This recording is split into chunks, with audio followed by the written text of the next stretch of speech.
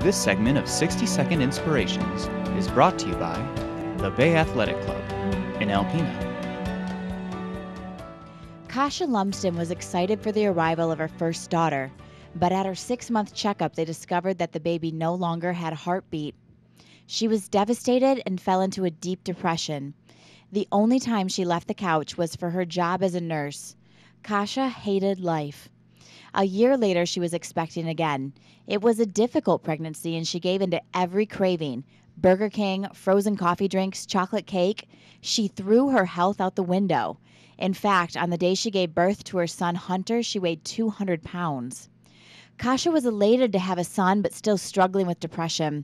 All the extra weight made it worse. She hated looking in the mirror. She took a chance and started doing the fitness program T25 at home with the support of an online fitness group.